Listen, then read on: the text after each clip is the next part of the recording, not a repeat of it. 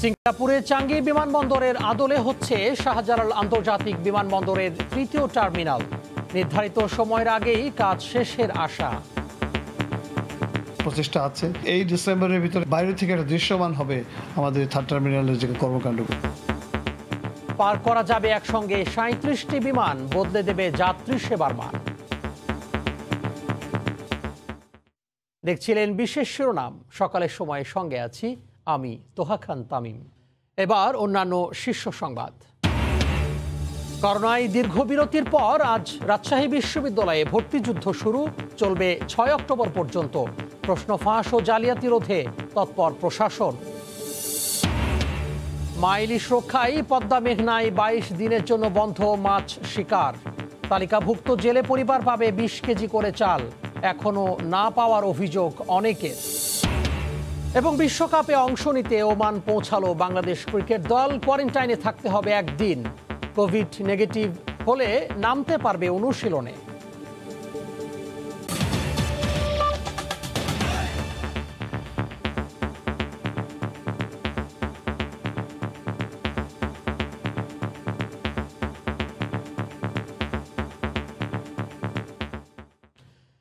ধারণার চেয়েও দ্রুত গতিতে এগিয়ে চলেছে হজরত শাহজালাল আন্তর্জাতিক বিমানবন্দরের তৃতীয় টার্মিনালের নির্মাণ কাজ। মাত্র একুশ মাসেই এখন দৃশ্যমান প্রকল্পের প্রাথমিক কাঠামো।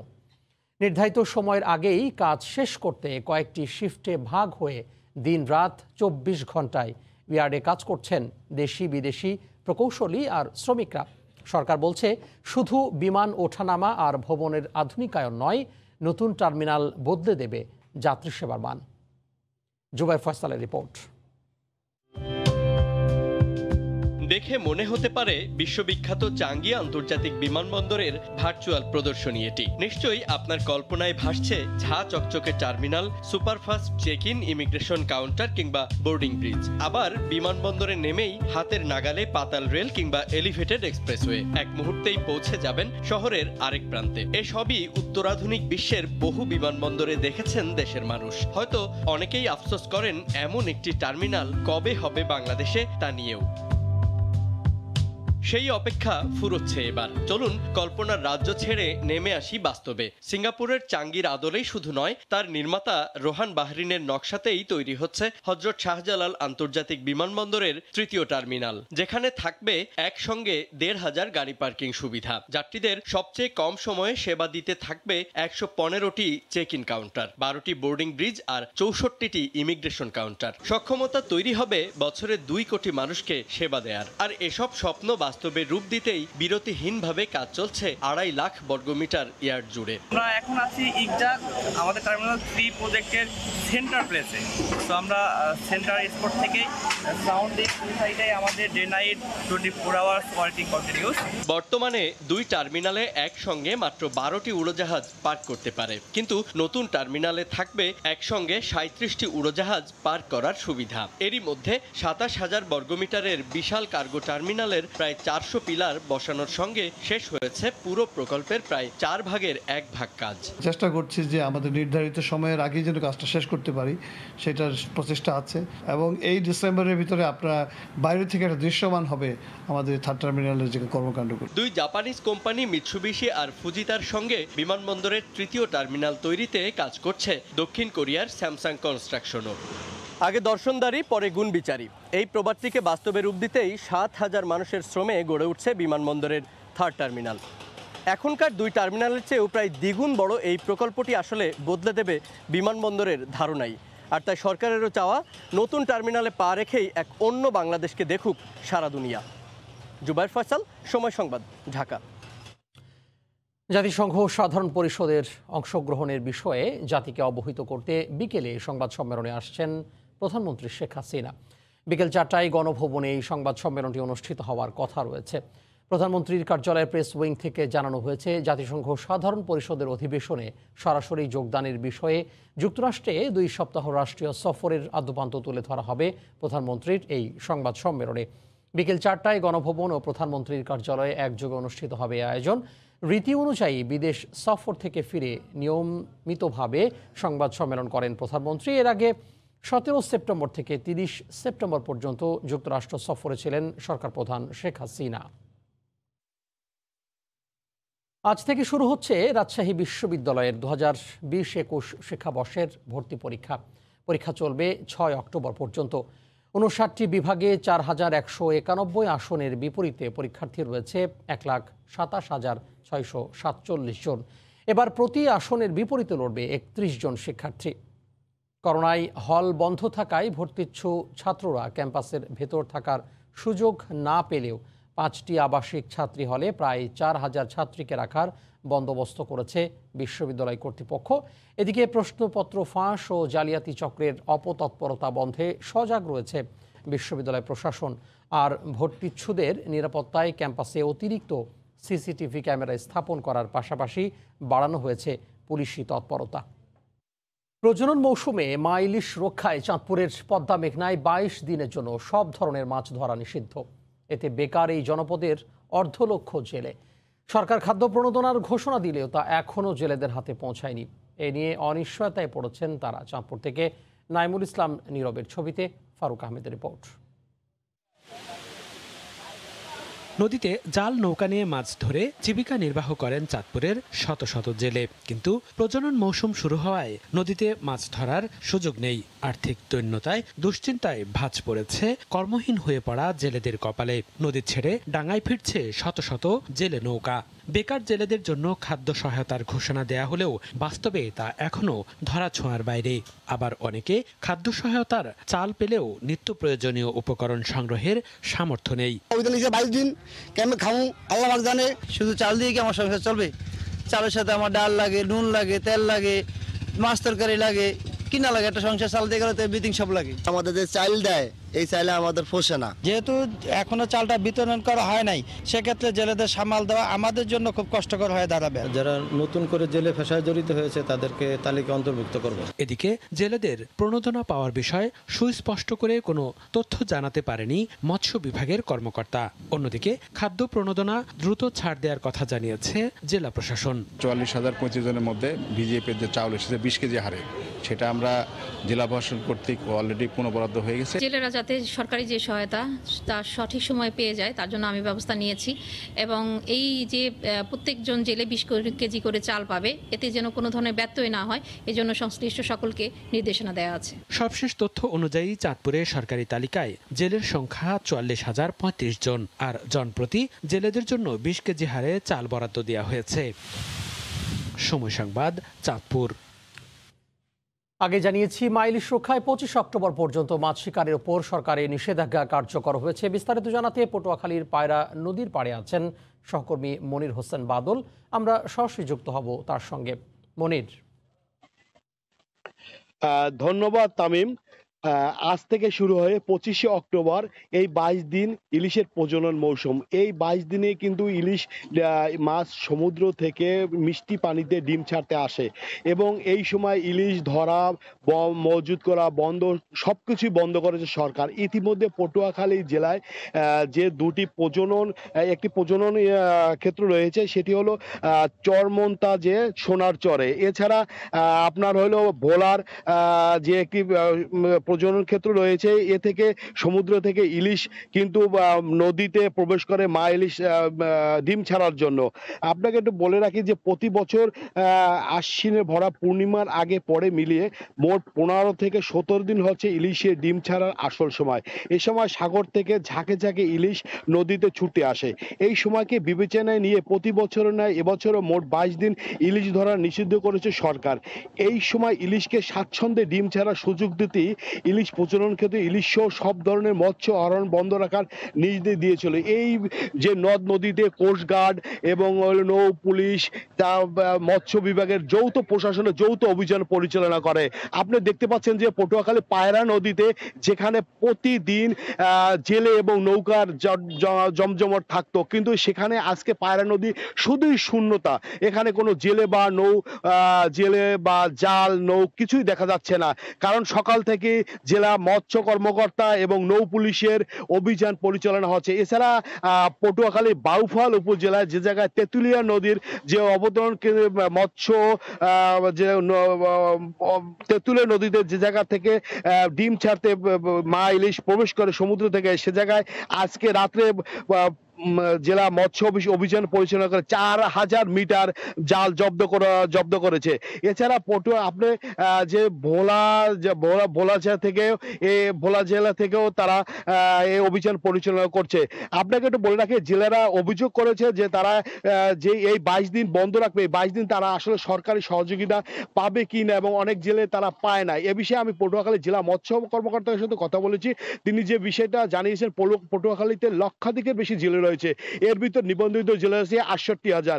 আর এই বাইশ দিনে পটুয়াখালীতে তেষট্টি হাজার আটশো জেলেকে বিশ কেজি করে সরকারি সহযোগিতা সহযোগিতা করবে। এই ছিল তামিম ইলিশের প্রজনন মৌসুমে আমার কাছে সর্বশেষ।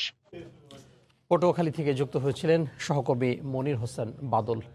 শিমুলিয়া বাংলা বাজার রুটে টানা আটচল্লিশ দিন বন্ধের পর আজ থেকে ফেরি চলাচল শুরু হচ্ছে। ফেরি চালুর খবরে স্বস্তি ফিরছে যাত্রীদের মাঝে। বিস্তারিত জানাতে মুন্সিগঞ্জের শিমুলিয়া ঘাটে আছেন সহকবি নাসির উদ্দিন উজ্জ্বল। আমরা সরাসরি যুক্ত হব তার সঙ্গে উজ্জ্বল। তামিম এই যে ফেরি সার্ভিস শুরুর খবরে কিন্তু লোকজন ঘাটে আসতে শুরু করেছে। আমি যদি একটু দেখাতে পারি যে এখানে কিন্তু মোটর বাইক এবং কার সহ নানা রকম যানবাহন অপেক্ষা করছে। তিন নম্বর ফেরিঘাটে এসে এবং তিন নম্বর ঘাটে কিন্তু ফেরি কুঞ্জলতা নোঙ্গর করে রাখা হয়েছে এবং এখান থেকে কিন্তু পরীক্ষামূলক ফেরিটি শুরু হবে এবং বিআইডব্লিউ টিসির যিনি পরিচালক, বাণিজ্য এস এম আশিকুজ্জামান, তিনি কিছুক্ষণ আগে জানিয়েছেন তিনি ঢাকা থেকে রওনা হয়েছেন এবং আরও সংশ্লিষ্টরা আসার পরে কিন্তু পরীক্ষামূলক চালু করবেন। তবে এতক্ষণ ধরে কিন্তু আমাদেরকে সময়টি নিশ্চিত করা হয়নি যে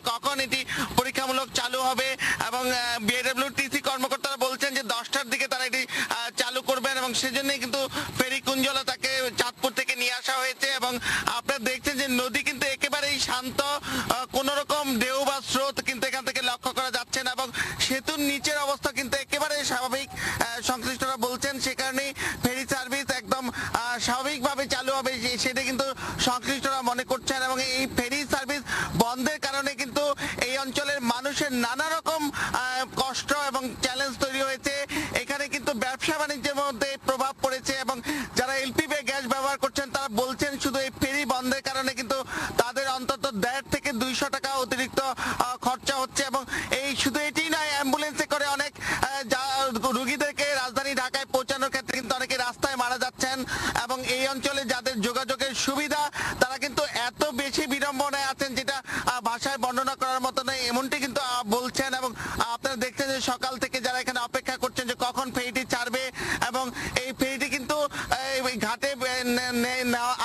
সাতটা কিছু পরে এবং এই কুঞ্জলতা দিয়ে যে বাংলা বাজার গিয়ে এই ফেরির যে আজকে এই দীর্ঘ সময় পরে উদ্বোধন করতে যাচ্ছে সেটি কিন্তু সংশ্লিষ্টরা বলছেন এবং এই যে বাংলা বাজার ঘাট দিয়ে পদ্মা সেতু নিচ দিয়ে চলার ব্যাপারে কোনো রকম বাধার কারণ নাই, নয়, নেই বলেই কিন্তু এটি চালু করা হচ্ছে এবং সেভাবে কিন্তু বয়া এবং নানা রকম সংকেত স্থাপন করা হয়েছে এবং সেতুর কোন কোন যে খুঁটির মাঝখান দিয়ে ফেরিগুলো চলবে সেটি কিন্তু নির্দেশনা দেওয়া হয়েছে। জানেন যে গেল আঠারো আগস্ট থেকে যে ফেরি চলাচল বন্ধ, এরপরে কিন্তু ছাব্বিশ আগস্টেই মাঝির কানিতে ঘাট সরিয়ে সেখানে চালু করবার জন্য সব ব্যবস্থা করা হয়েছে, জরুরি ভিত্তিতে ঘাটও স্থাপন করা হয়েছে। কিন্তু সেখানে কিন্তু মাঝির কান্দি দিয়ে ঘাটটি চালু করা যায়নি নানা কারণে। সেগুলো নিয়ে কিন্তু সাধারণের প্রশ্ন রয়েছে। তো এখন কিন্তু আবার বাংলা বাজার দিয়ে ঘাট চালু হলো এবং তারা আশা করছেন যে এই ঘাট চালুর মধ্য দিয়ে তাদের বিড়ম্বনা শেষ হবে। এই ছিল সবশেষ তামিম। মুন্সিগঞ্জের শিমুলিয়া ঘাট থেকে যুক্ত হয়েছিলেন সহকবি নাসির উদ্দিন উজ্জ্বল। নীলফামারীর পোড়াহাট থেকে রংপুরের তারাগঞ্জ পর্যন্ত আঠারো কিলোমিটার সড়কের অধিকাংশই চলাচলের অযোগ্য। সড়কের খানাখন্দ আর কাদা পানিতে মানুষ বছরের পর বছর চরম ভোগান্তির শিকার। সড়কটি ষোলো ফুটে উন্নীত করতে বাইশ কোটি টাকা বরাদ্দের জন্য একটি প্রস্তাবনা মন্ত্রণালয়ে পাঠানো হয়েছে বলে জানান উপজেলা প্রকৌশলী। নীলফামারী থেকে শাকির হোসেন বাদলের তথ্য ও ছবিতে প্রতিবেদন। খানাখন্দ আর কাদা পানিতে নাকানি চুবানি খেয়ে প্রতিদিন চলাচল করে মানুষ ও যানবাহন। নীলফামারীর সৈয়দপুরের পোড়াহাট থেকে রংপুরের তারাগঞ্জ পর্যন্ত আঠারো কিলোমিটার দীর্ঘ রাস্তাটির বারো কিলোমিটারই ভাঙাচোরা। এতে বছরের পর বছর ধরে শিক্ষার্থী উত্তরা ইপিজেডের কয়েক হাজার শ্রমিক সহ আশেপাশের কয়েকটি ইউনিয়নের মানুষের দুর্ভোগ চরমে। সময় মতো স্কুলে যেতে হলে আমাদের এক দেড় ঘণ্টা আগে বাসা থেকে বাইর হইতে হয়। আমাদের গ্রামের যে কাঁচামাল আমরা সময় মতো শহরে পৌঁছতে পারি না। রাস্তার জরাজীর্ণ অবস্থা গর্ত ভরার কারণে প্রায় দুর্ঘটনা ঘটে। এই রাস্তা এখন অতিক্রম করতে ডেলিভারি রোগীর জন্য অত্যন্ত কষ্টকর। চলাচলের অনুপযোগী হয়ে পড়লে দু হাজার ষোলো সালে চার কিলোমিটার রাস্তা সংস্কার করা হয়। বাকি অংশ এই অবস্থাতেই পড়ে আছে। দুই দিন চার দিন পর পরে গাড়ি ভালো করতে হয়। নাহলে গাড়ি কোথাও ভাঙি যাচ্ছে ঢালাই খুলি যাচ্ছে। এই যে রোড এই রুটে আমাদের ভ্যান এই অবস্থায় চলা যায় না। সরকারের কাছে আকুল আবেদন এই জন্য যে যেন সরকার অতি তাড়াতাড়ি এই রাস্তাটা আমাদেরকে ঠিক করে দেয়।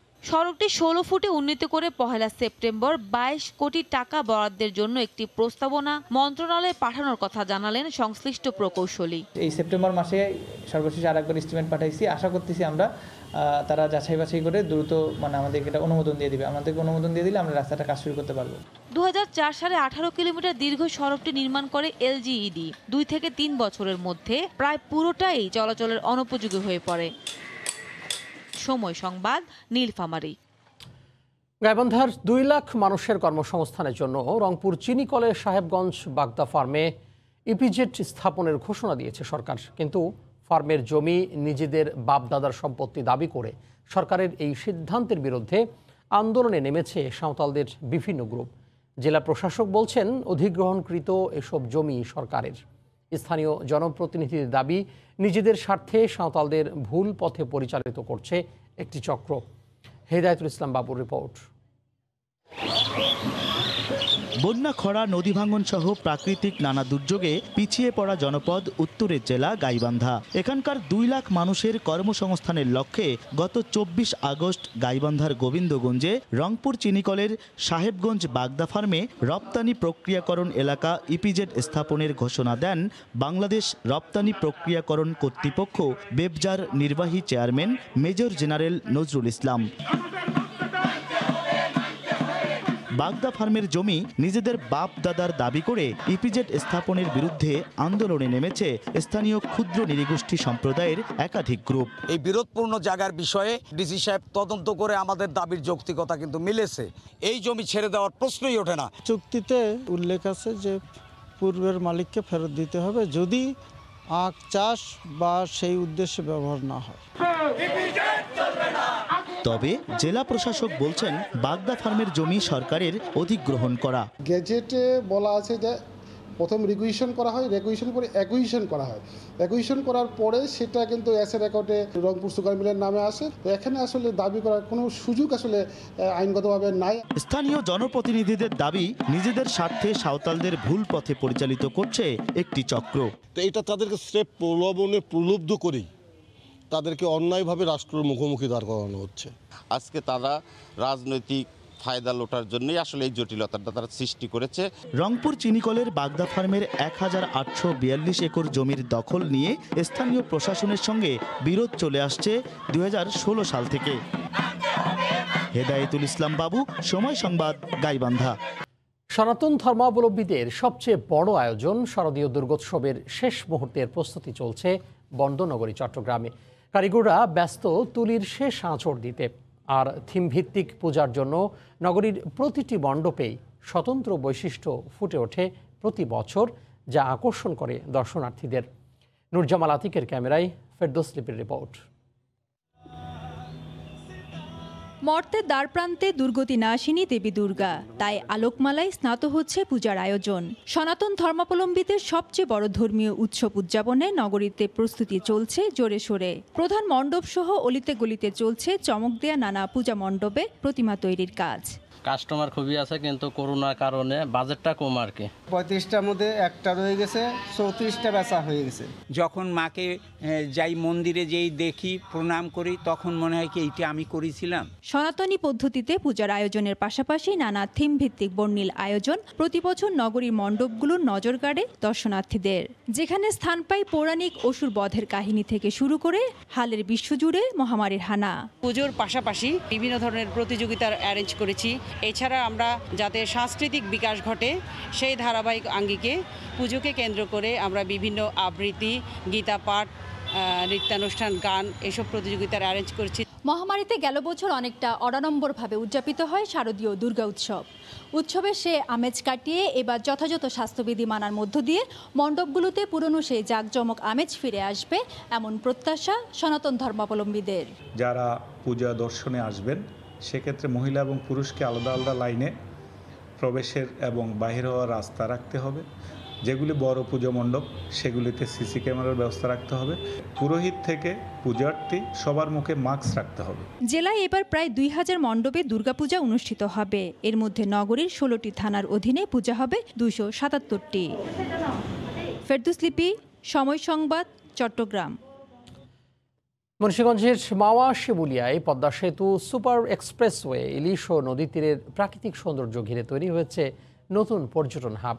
পর্যটন প্রতিমন্ত্রী বলছেন, অপার সম্ভাবনার এলাকাটিকে পর্যটন বান্ধব করতে সব ব্যবস্থা গ্রহণ করা হবে। আবু সাইদের ক্যামেরায় নাসির উদ্দিন উজ্জ্বলের রিপোর্ট। স্বপ্নের পদ্মা সেতু শুধু যোগাযোগে বৈপ্লবিক পরিবর্তনই আনবে না, সে সাথে এটি ঘিরে পর্যটন শিল্পের বিশাল এক সম্ভাবনার দুয়ার খুলে যাচ্ছে। রাজধানী ঢাকা থেকে মাত্র ৩৫ কিলোমিটার পথ পাড়ি দিয়ে আসার পথে রং বেরঙের ফুলের ছন্দময় নৃত্য দেখতে দেখতে যানজটহীন চলে আসা। প্রাকৃতিক সৌন্দর্য উপভোগ ছাড়াও পদ্মা পাড়ে ভোরের ইলিশের হাট আর এক আকর্ষণ। আর রেস্টুরেন্টে বসে বন্ধু বান্ধব নিয়ে পছন্দের ইলিশ ভেজে গরম গরম স্বাদ গ্রহণ তো আরও লোভনীয়। সব মিলিয়ে পর্যটনের নতুন হাব এখন মুন্সিগঞ্জের লৌহজং উপজেলার মাওয়া শিমুলিয়া। পদ্মা তীরের প্রাকৃতিক সৌন্দর্য উপভোগ করতে নানা অঞ্চলের মানুষ এভাবেই ছুটে আসে এখানে। বিদেশের মতো রাস্তা যেখানে কোনো ময়লা নাই। ইলিশটা অনেক আলাদা। এটা খাওয়ার জন্য চলে আসছি পদ্মা সেতু দেখার জন্য চলে আসছি। মাঘাট নদী কত সুন্দর। ঢেউ আসতেছে বাতাস এগুলো। সব কিছুই এখানে সুন্দর আছে কিন্তু এখানে রাত একটা যাপন করব এই ধরনের একটা ভালো হোটেল নাই। উদ্যোক্তারা বলছেন রূপালী ইলিশের পাশাপাশি পদ্মা সেতু ঘিরে নিরাপদ মানসম্মত রিভার ট্যুরিজম আরও আকর্ষণ বাড়াতে পারে। আমরা একটা ক্রুজ টাইপের নামাইতে চাচ্ছি শিপ ক্রুজ আর কি। আপনার এখানে এক ঘণ্টা দেড় ঘণ্টার আপনি একটা ট্রিপে আপনি ধরেন পদ্মা নিজে দেখে আসলেন ব্রিজ ট্রিজের নিচে ঘুরে আসলেন। পর্যটন প্রতিমন্ত্রী জানালেন মাওয়া এলাকায় পাঁচ তারকা সোনারগাঁ হোটেলের একটা এক্সটেনশন শাখা করা যায় কিনা তার প্রস্তাব করেছেন। আমরা এখানে আমাদের কর্মকাণ্ড প্রসারিত করব এবং পর্যটনের রিসোর্ট সহ আরও কি কি করা যায় সেই ব্যাপারে। তাই এই সম্ভাবনার দুয়ার খুলতে ঢাকা মাওয়া এক্সপ্রেস ওয়েতে অত্যাধুনিক ছয়টি পর্যটন বাস চালু হতে যাচ্ছে। নাসিরুদ্দিন উজ্জ্বল সময় সংবাদ মুন্সিগঞ্জ। অনেক নাটকীয়তার পর বিশ্বকাপ খেলতে ওমান পৌঁছেছে বাংলাদেশ ক্রিকেট দল। মাস্কাটে বৈরী আবহাওয়ার জন্য একসময় ঘোষণা আসে ফ্লাইট বাতিলের। তবে সেই সিদ্ধান্ত পরিবর্তন হওয়ায় রাত একটা পনেরো মিনিটে ওমানের উদ্দেশ্যে দেশ ছেড়ে যায় মাহমুদুল্লাহ রিয়াদের দল। বিশ্বকাপে ভালো করতে দেশবাসীর কাছে দোয়া চেয়েছেন টি টোয়েন্টি অধিনায়ক। বিশ্বকাপ মিশনে যাবে টিম টাইগার্স। বিমানবন্দরে গণমাধ্যম থেকে শুরু করে সমর্থকদেরও ভিড়। তবে বিশ্বকাপ যাত্রা নিয়ে বিকেল থেকেই ছিল শঙ্কা। প্রাকৃতিক দুর্যোগের কবলে ওমান। সাইক্লোন শাহিনের জন্য মাস্কাট আন্তর্জাতিক বিমানবন্দরের সব ফ্লাইট স্থগিত।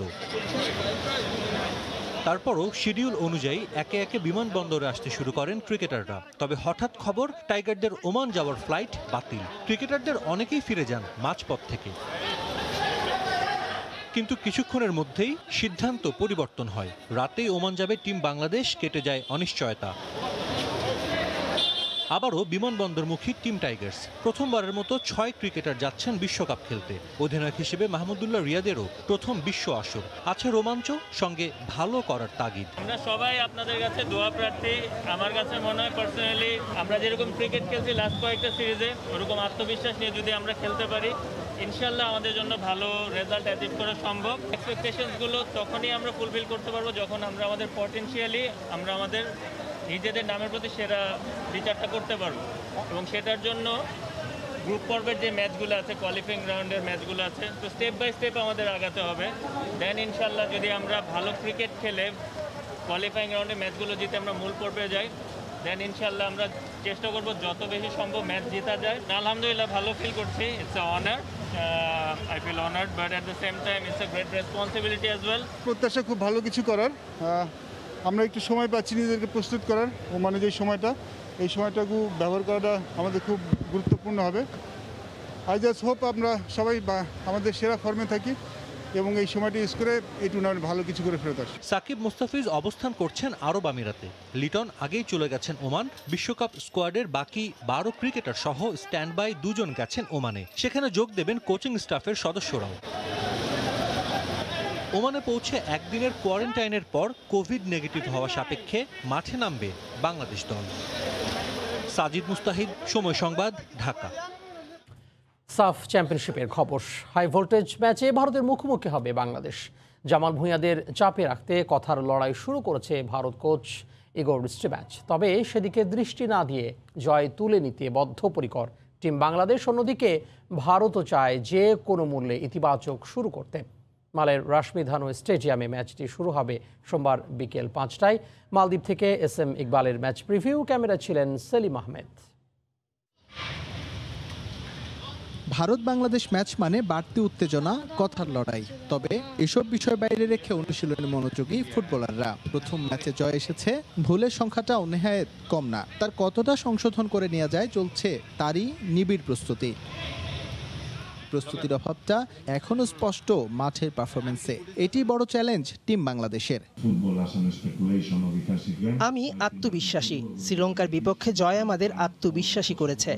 নেগেটিভ দিক হচ্ছে মাত্র আট দিনের অনুশীলন আমাদের। এটা হয়তোবা আমাদের পিছিয়ে রাখবে। তবে একটা দল হয়ে ওঠার চেষ্টা চলছে। আশা করছি ম্যাচ জিতবো। পরিবর্তন আসবে একাদশে। ভারতের বিপক্ষে দেড় যুগ ধরে জয়বঞ্চিত বাংলাদেশ সেই গেরও খুলতে চান কাপ্তান। এটা নতুন একটা ম্যাচ আমাদের নতুন চ্যালেঞ্জ নিতে হবে। আমরা প্রস্তুত আছি। মধ্যমাঠ নিয়ে আমাদের বিশেষ পরিকল্পনা আছে। যুব ভারতীতে আমরা ভালো করেছিলাম। আশা করছি এখানেও তার প্রতিফলন ঘটবে। বাংলাদেশের মতো ভারতের প্রস্তুতিও স্বল্প সময়ের। তবে যে দলে সুনীল ছেত্রী খেলেন তারা নিশ্চিতভাবেই ফেভারিট স্বল্প সময়ের প্রস্তুতিতে ভালো করা কঠিন তবে আমার ফুটবলাররা জানে কি করতে হবে। তাদের প্রতি আমার ভরসা আছে। প্রতিপক্ষকে সেটা নিয়ে আমি খুব একটা চিন্তিত নই। জিততে হবে এটাই শেষ কথা। গেল কয়েকটা সাফ হালকাভাবে নিলেও এবারের আসরটা ভারত যে বেশ গুরুত্বের সঙ্গে নিয়েছে সেটা বোঝা যায় তাদের স্কোয়াডের দিকে তাকালেই। সুনীল ছেত্রীরা অবশ্যই চাইবে প্রথম ম্যাচে বাংলাদেশকে উড়িয়ে দিয়ে আসরে শুভ সূচনা করতে। সেই চ্যালেঞ্জ লাল সবুজরা কতটুকু নিতে পারে, সেটাই হচ্ছে এখন দেখার বিষয়। মালে থেকে এস এম ইকবাল, সময় সংবাদ, মালদ্বীপ। সকালের সময় শীর্ষ সংবাদগুলো জানিয়ে দিব আরও একবার। সিঙ্গাপুরের চাঙ্গি বিমানবন্দরের আদলে হচ্ছে শাহজালাল বিমানবন্দরের তৃতীয় টার্মিনাল। একুশ মাসেই দৃশ্যমান কাঠামো নির্ধারিত সময়ের আগে কাজ শেষের আশা। করোনায় দীর্ঘ বিরতির পর আজ রাজশাহী বিশ্ববিদ্যালয়ে ভর্তি যুদ্ধ শুরু, চলবে ছয় অক্টোবর পর্যন্ত। প্রশ্ন ফাঁস ও জালিয়াতি রোধে তৎপর প্রশাসন। এবং মা ইলিশ রক্ষায় অভয়াশ্রমে বাইশ দিন বন্ধ মাছ শিকার। তালিকাভুক্ত জেলে পরিবার পাবে বিশ কেজি করে চাল, এখনও না পাওয়ার অভিযোগ অনেকের। এই ছিল সকালের সময়। সঙ্গে থাকুন সময়।